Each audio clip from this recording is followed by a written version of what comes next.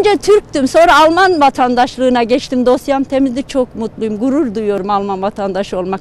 Türk vatandaşı olmaktan asla gurur duydum. Tiksindim. Ee, yapacak bir şey yok. Dolar gider gelir ama vatan giderse geri gelmez. Ben bunu her zaman söylüyorum. FED kararının açıklanmasıyla dolar kurunda hareketlilik oldu. Bu sabah itibariyle dolar 15 lira 30 kuruş olarak yansıdı. Bizler de Laf Sokak'ta ekibi olarak Kayseri halkına bu konuyla ilgili sorular sorduk. Bakalım nasıl cevaplar aldık. Yükselsin, yükselsin Türkiye'yi satın alsınlar Hristiyanlar. Çünkü Türkiye Türk olarak e, layık olmadılar. Türkiye'ye güzel bakmadılar. Her konuda yatırımları da güzel olmadı. Bir bakın, bir bakın Zümrüt Mahallesi diye bir tane ağaç yok. Beton yığını yapmışlar. Bu nasıl bir ülke? He? Araba parkı yok, bir şey yok. Nasıl bir çalışma, nasıl bir mühendisler, nasıl o hangi üniversitelerde okumuş diploma almışlar?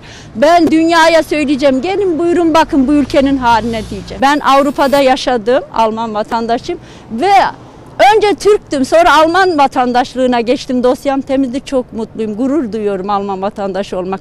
Türk vatandaşı olmaktan asla gurur duydum, tiksindim. Çok yalancı, sahtekar bir ülke Türkiye. İnsanlık yok Türkiye'de. Vallahi de billahi de asla insanlık yok. Şimdi bir hayat pahalılığı var e, günümüzde ama e, de hükümetimizin ben bir an önce önlem alacağına inanıyorum bir vatandaş olarak. Tabi dünyanın gözü de bizim ülkemizde, Avrupa'nın gözü bizim ülkemizde. E, bizle başka türlü baş edemedikleri için ekonomik savaş açıyorlar. Çünkü Türkiye'ye başka türlü güçleri yetmiyor. E, ama e, yapacak bir şey yok. Dolar gider gelir ama vatan giderse geri gelmez. Ben bunu her zaman söylüyorum. Abi hayat pahalılığı var mı? Var. İnkar edemeyiz. Şartlar e, zor. Gerçekten Allah yardım etsin. Dört çocuk okutana, ne bileyim e, asgari ücrette çalışana. Ama yapacak da bir şey yok. Vatanımızda giderse bir daha geri gelmez. Ama dolar gider gelir, altın gider gelir. Onlar yerine gelir. Ama vatan giderse bir daha geri gelmez. herkes etkiliyor. Yani bu bütün yani herkes etkiliyor. Yani bir bizi değil yani. Türkiye'yi tüm etkiliyor. Yani Türkiye Cumhuriyeti tarihinde bu kadar halk kuyruklarda ne beklediler ne de bu kadar perişan oldular. Bu dönemde halk tamamen bitti yani ekonomi bitti, her şey bitti yani. Onun için yani bunu düzeltmeleri lazım. Vallahi ne gibi önlemler alır? Ee, seçime gidip ülkeye bunlara düzeltecek iyi bir milli bir iktidarın gelmesi lazım. Bunları yapamıyorlar bu işi.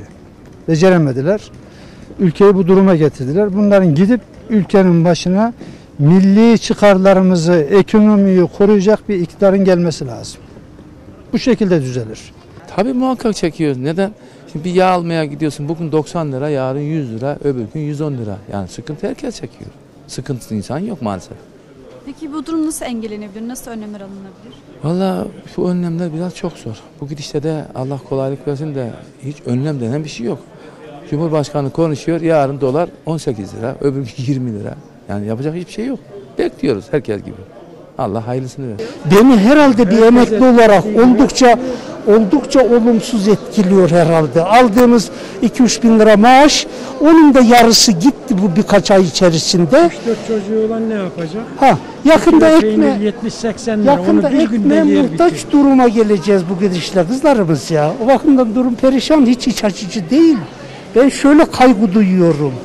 Ben sadece bugünler bir, bir iki aylık mesele için değil, Türkiye'nin geleceği için kaygı duyuyorum. Türkiye'nin bu konuda ciddi ciddi sorunu var. Bir çıkmaza doğru sürükleniyor.